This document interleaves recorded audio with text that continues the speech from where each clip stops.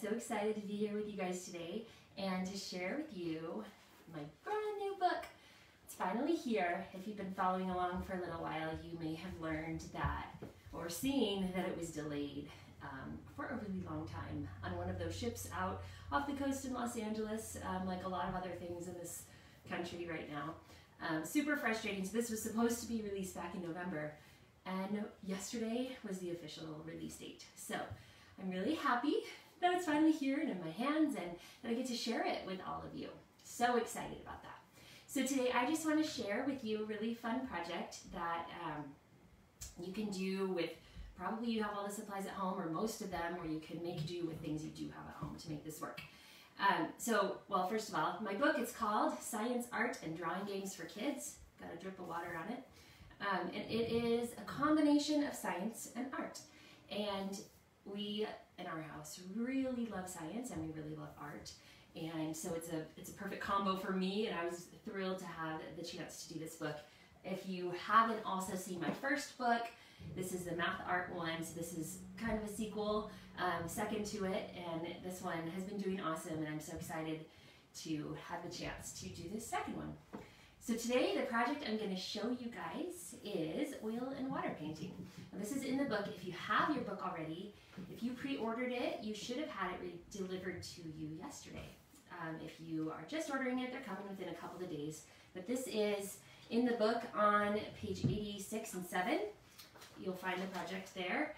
And it has all the instructions uh, if you want to pull out the book and follow along or if you want to do it later with kids or with students, however you're using this. And it's in the section, so let me tell you a little about what we've got going on in the book. Um, there's several different areas we cover energy and motion, electricity and magnetism, living science, chemical reactions, and color and light. And this one is under the chemical reaction section, and um, we're going to talk about how oil and water don't mix. So right at, at the beginning of each project are some little scientific descriptions of you know how these tie in together and the science behind them. And so this one talks about the word immiscible. So oil and water are immiscible, which means that they cannot mix. And we know that when you try to mix salad dressing or other things like that, you can see that oil and water will not mix together. And so we're going to use that principle to make some really cool artwork. And you'll see some of it here behind me. These are ones, these are actually the ones that are in the book that I've saved. Um, but we're doing some more today. So here's a couple, and they just turn out so fun and so pretty. And something you can do with them afterwards is to make them into a little greeting card or a thank you card, and um, use them to send to friends and family. And they're just they're just so pretty and so fun. And it's really really easy to do. So, so some some supplies you're going to need today. Um, you can come in. This is my little buddy Burton and he's going to check on the phone for me to make sure that everything is going smoothly. Is my head all in it? Now it is. Think, oh no, was I out all that time? Sorry guys. Okay, so I have here just a plastic tub full of water and there is some oil in it, but I'm going to show you how we put the oil in. We have um, just a little eyedropper. If you don't have one of these, it's totally fine. You don't have to. Whoops. But it's helpful to get the drops in there. So you'll want to use this little dropper or a spoon. If you don't have a dropper, that's fine too. So we just squeeze up some oil and put drops of oil into the, to the tub of water. And you want different sizes of drops. So when you squeeze it in, you can do little drip, droplets or you can do big, if you stay in one spot, to get bigger drops of oil. And that'll give you a variety of shapes and texture on your paintings as you make them.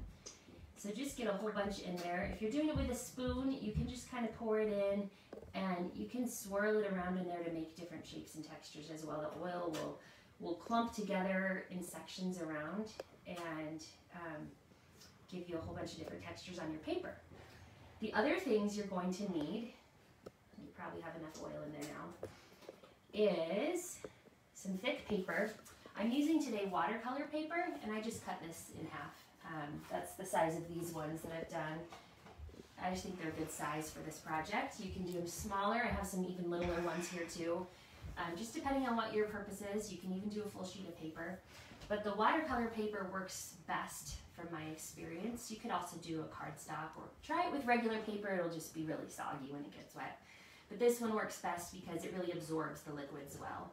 And I'll show you just real quick. This is one I just did a minute ago, few minutes ago. It's almost dry now. But for this one, I did a smaller square and I used blue and black ink on this one. I thought it turned out kind of cool. So then also you'll need some kind of coloring or liquid coloring. These are liquid watercolors. I love them. They're so fun to do a lot of different projects with. I use them a few different times in my book. So they're a fun one to have on hand and they last a really long time. You could do it with regular watercolors or also with um, just liquid food coloring would work well as also. Um, I like these because they're just such a concentrated color and they, um, they just give really vibrant colors when you do your art. Hey, Burton, as you, um, is it showing the table still as you tilted it? Um, Just want to make sure they can see what's happening down here too. yeah. Gotta get my head and the table in, so I'll just try and squat a little. It's okay. All right, so what you do, we've got the oil in there. So then you're gonna just take a piece of paper and you're gonna just set it on top of the water in here. And what's gonna happen is the oil is going to stick to the paper and the water is, is gonna kind of run off. So you just kind of set it right on top here. You don't wanna dunk it all the way under. Just place it right on top and let it soak up oil and then pull it off. And you can see the little droplets of oil on the paper. Now I want to kind of get it in more places, so I'm going to give it one more dunk so that this top part gets some oil on it. So I'm going to just give it one more little dunk here and make sure that we get it in a few places more. I just like having a lot of it on there. That work? Okay, so we've got a lot of oil and water in there. You want to run off as much of the liquid as you can. And then you can see I've got this pan here, and I just put paper towels on it to help absorb some of the mess, because this is a little messy. I'm gonna the book out of the way. I keep dripping on it. All right, so next you want to choose your colors. What colors should we do in this one? Um, What colors? see. two. Red and yellow. Red and yellow, good choices. His favorite color is orange, so that doesn't surprise me that he chose red and yellow. All right, so with this, if you're doing it with regular watercolor paints, it will work, but you have to get them really, really wet because as you'll see, you just want to drip the color all over this, and it's gonna swirl and run sort of all over the place. Hey, Mom, can I zoom up? Is there a way Um, to? I don't think you can once it's already live. Okay. But thank you for. Um, you could, if you want to pick it up and just hold it over for a second so they can actually see Yeah. it really well. That would awesome. So I've done a bunch of drips of red. Ooh, that was a big splatter. It went everywhere. And now I'm going to add some yellow to the mix. I'm going to push this down a little. It always sort of swells up, but it flattens as it dries. So now I'm going to add the yellow, and that'll give us some cool color swirls.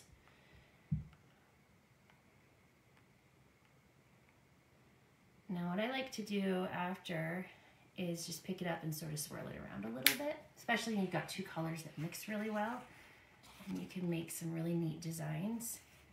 So just hold it like that and you see all the places where the oil is, the color's not going because they're watercolor paint, so they also do not mix with the oil.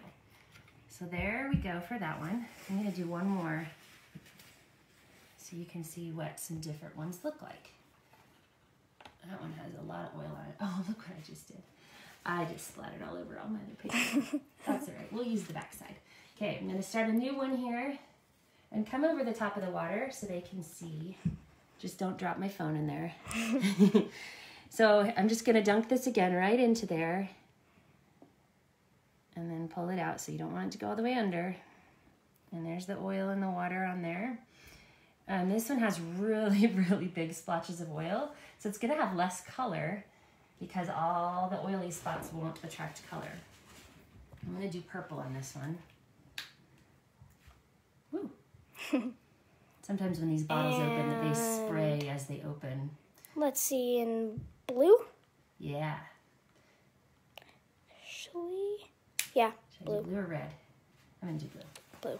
We already did a red one. We did. Thanks for helping. Yeah. This is my, Burton's my 11 year old son. He's always my awesome helper. All right. So let's try a little swirling again. And it's just running right over those oily spots. That looks really cool. It does look really cool, doesn't it? How it just sort of sits on top.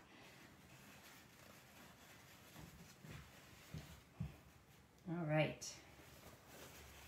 I'm gonna pop that back up into the stand now and I'll just talk again for a minute. Thanks, Burton. Yep. So I'm gonna show you guys a little closer some of the finished ones. As they dry, um, here's a little bit closer. How's that look in the screen there? They just look really awesome as they dry. Kind of bubbly. Um, and just swirls colors. This one I used red, blue, and purple, I think. Or maybe it just made the purple. I'm not sure, but anyway, they just turn out really neat. And then you can do what you want with them. You can make them into cards. You can hang them and frame them. Whatever you would really like to do best with them. And they're so much fun. So that's super simple and tons of fun and a really easy craft that you can put together. It does get a bit messy, but you can contain it pretty well in a pan, except for my splatters everywhere.